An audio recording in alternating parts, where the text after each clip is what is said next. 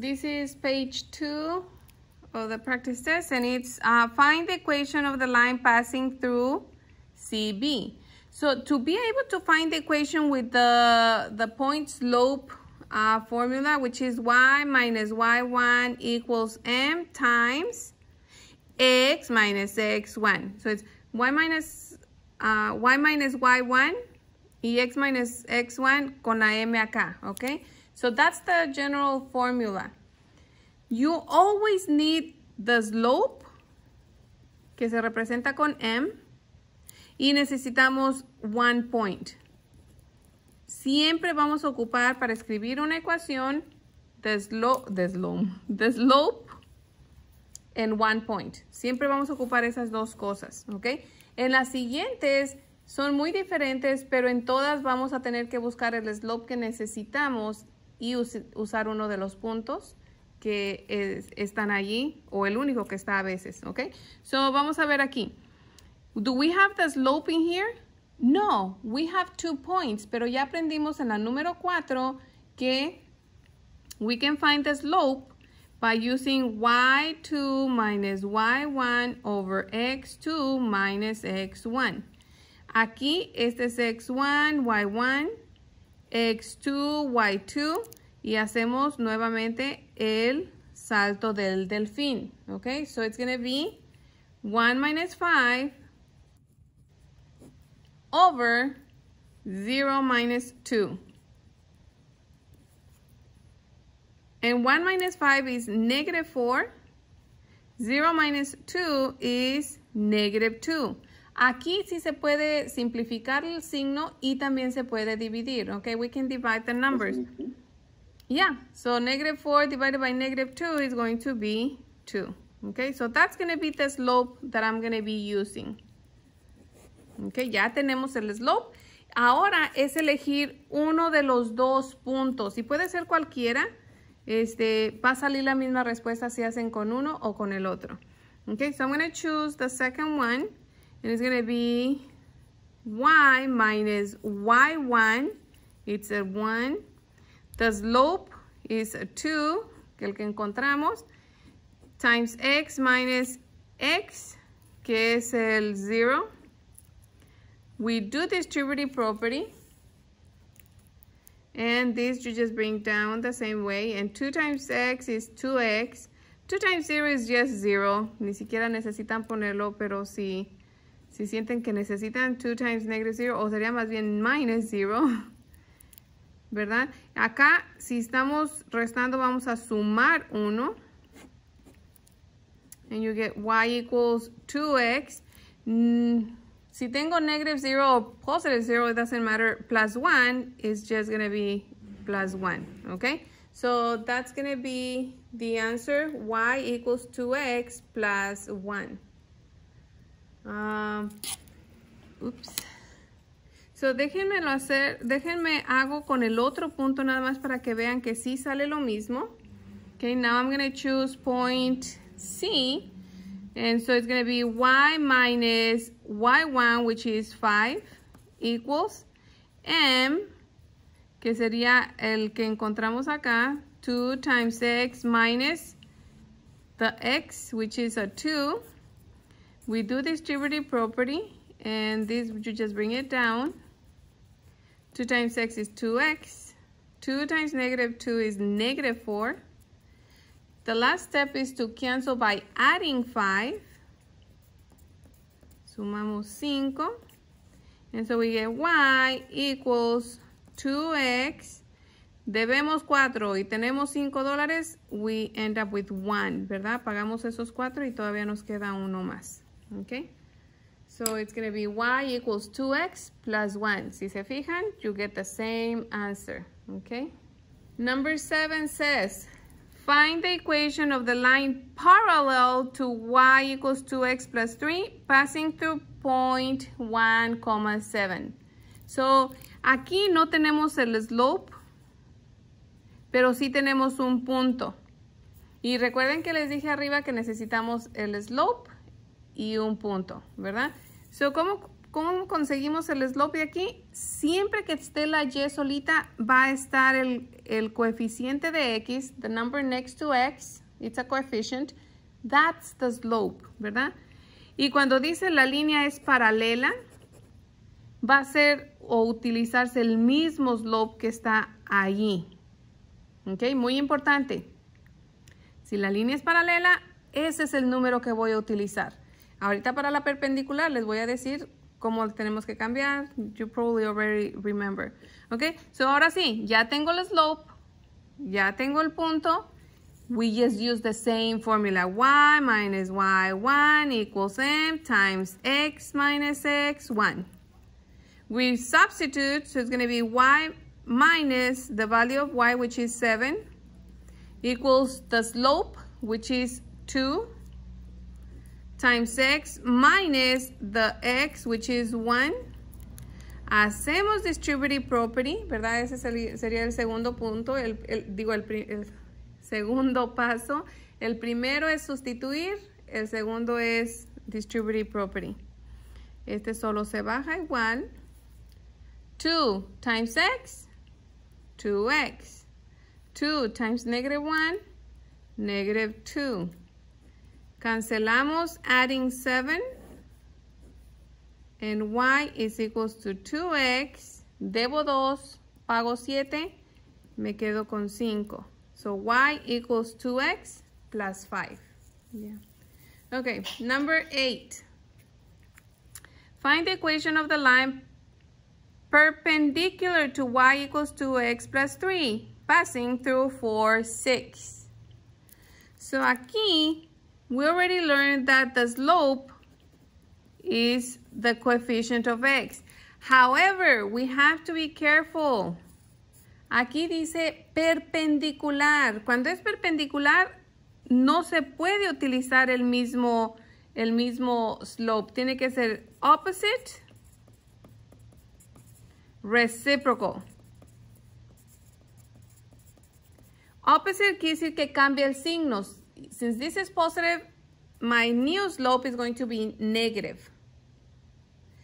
Y también aprendimos que el reciprocal es cuando se cambian el numerador y denominador. So, como no hay denominador, se pone sobre 1 and it's going to be 1 over 2 instead of 2 over 1, okay? So you, oops, that was the sign for the negative. okay, I'm going to put the negative here. Um, so the 2, the 1 goes up, the 2 goes down, ¿verdad? Negativo, un medio, ¿ok? Negative one half. Cambiamos el signo, cambiamos el numerador y denominador. ¿Por qué? Porque es perpendicular. Now that we have the slope and we have our point, we can use again the general formula for the point slope. So it's y minus y1 equals m times x minus x1. It's going to be y minus the value of y, which is 6. Cuidado, no me escojan el equivocado. No me vayan a usar el 4 en este caso. M es el nuevo que vamos a utilizar, ¿verdad? The negative 1 half times x minus 4, which is the value of the x. Ya hacemos distributive property y minus 6 is negative 1 half times x is negative 1 half x. Negative times negative is positive. Recuerden que cuando hay un entero, when there is a whole number, multiply times the numerator, divide by the denominator. So 4 times 1, 4. Divided by 2 is 2. We cancel by adding 6 and the answer is y is equals to negative 1 half x plus 8. Okay, because you didn't have the grid for number 9, that's why I gave you the coordinates. Uh, remember that for the perimeter, you need two lengths and two widths, ¿verdad? El perímetro es P is equals to 2Ls plus 2 widths. Pero ahorita, uh, bueno, yo creo que si ya hicieron esta, se dieron cuenta que era un cuadrado, ¿verdad? Y para el área, pues es base por altura. So we're just going to find the length and the width in here. Um, como les dije, ya muchos ya se dieron cuenta si ya lo hicieron, que eh, Salió un cuadrado. Okay, so for the distance you're going to use los ojitos coquetones y dormilones con las pestañotas y dormilones. Okay, and remember that is y2, y1. Uh, some books do x and x minus x, y minus y over here, pero va a salir lo mismo. Okay. Yo nada más para compararlo con el slope because it's something that you guys use so that you can have kind of like the same um, el mismo ritmo. okay, so D is equals to, vamos a usar, but we're going to find this one first. So it's negative 4, negative 2. And the other point is 0, and negative 3. So, negative 3 minus negative 2. Negative 3 minus from the formula, but then you have negative 2 for the number, ¿verdad? Negativo de la fórmula, negativo del número. For x is 0 minus negative 4. 0 minus negative 4 Because of the two negatives, two negatives together make a big plus, big plus. So if I owe 3 and pay 2, that's to be negative 1. Debo 3, pago 2, pero todavía sigo debiendo 1. Because it's negative, siempre que sea negativo, lo tenemos que poner entre paréntesis. Okay? And then in here, 0 plus 4 is just 4 square. Aquí vamos a elevar ese negativo 1 a la segunda potencia, incluyendo el negativo. So negative 1 times negative 1 is positive 1. In here, 4 times 4 is 16. This is the square root of 17. Okay, so, oops, not that. In our calculator, we're going to find the square root of 70. It's 4.1 or 4.12, okay? Whatever you want to use, that's fine with me. Va a salir un poquito diferente, but that's okay, okay? So that's for this part right here. Ya encontramos esta parte. Ahora vamos a encontrar la otra. Voy a usar los dos puntos que serían estos dos. So it's 0, negative 3 and 1, 1. Y el orden no importa porque al final, just because it's a negative or a positive, es lo único que va a cambiar para algunos, pero ya elevado a la segunda potencia se hace positive in both ways anyways, okay? So distance is equals to, whoops, no me va a caber aquí. Let me just use more space over here. so y minus y, x minus x, ¿sí? 1 minus negative 3, so 1 minus de la fórmula, negative 3 del número. The next one is 1 minus 0, so 1 minus 0. Because of the negative times negative becomes the big plus. And so 1 plus 3 is 4 squared 1 minus 0 is 1 square. Como no hay negativos, no necesitamos paréntesis. Si lo ponen, no está mal tampoco. It's okay. And then 4 square is 16. 1 square is 1. Y guess what? Is the square root of 17, que es lo mismo que tenemos acá. So that's why I said that it's a square, ¿verdad? Es un cuadrado porque tiene los lados iguales. Okay. So now we have the two distances. Ya, ya, ya tenemos las dos distancias. So pueden usar ese de dos L's y dos W's, pero cuando es un cuadrado, when it's a square, we know that all sides are the same, ¿verdad? Todos los lados son iguales. So cuando sea perímetro en un cuadrado, todo lo que tienen que hacer en realidad es, ah, multiplicar cuatro, porque son cuatro lados, por la cantidad que mide uno de ellos, que es 4.12. So el perímetro de un square es 4S. Le llaman 4S. 4 multiplicado por la medida de un lado, un side. ¿ok? Ahorita les, voy a poner esta, pero si no, de todas maneras, hacemos con, con la fórmula que hemos estado aprendiendo para que no se confundan. Ok. So 4 times 4.12 is equals to 16.48. Okay. 16.48 units. Ahora vamos a hacerlo con el P equals 2L plus 2W. P equals 2L plus 2W, que sería igual a 2 times, ya sabemos que el L fue el primero que encontramos que es 4.12, los dos son 4.12, 4.12 plus 2 times the width, que es el segundo que encontramos que también era 4.12, ¿ok? Multiplicamos.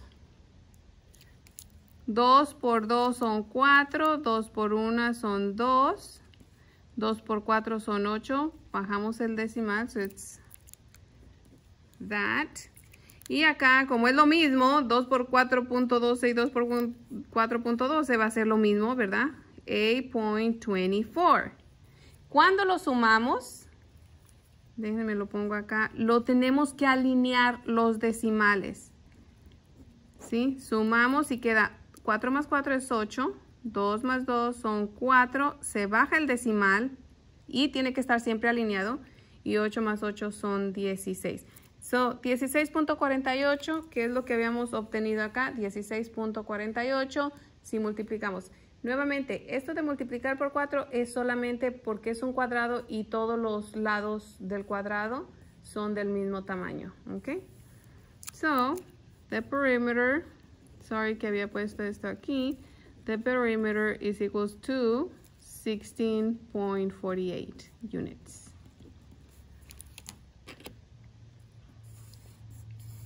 Para el área, for the area is going to be Base times height es lo que habíamos aprendido o también está la misma que es length times width, ¿verdad? O en un cuadrado, ¿verdad? Nada más porque es un cuadrado, se dice es side al cuadrado, side square. o sea, una vez este número a la segunda potencia, que es lo mismo, ¿verdad? La base es 4.12 por 4.12. Entonces, 4.12 al cuadrado quiere decir 4.12 por 4.12. So, it's going to be the same thing. So, you can just substitute in here 4.12 times 4.12. And the answer is 4.12 times 4.12 equals 16.97. Sería, uh, si lo redondeamos a los hundredths. Okay. 16.97. Y aquí sería square units.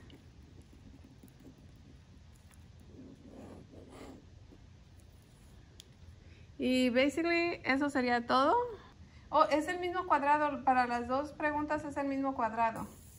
Ajá, esa era mi duda. Dije, ¿cómo lo hizo tan rápido? Pero me di cuenta cómo hizo tan Y ya, es el mismo cuadrado y es la misma, por eso se usó la misma medida la misma medida de lo que encontramos para el primero se puede utilizar en el segundo por la, por la razón que es el mismo cuadrado.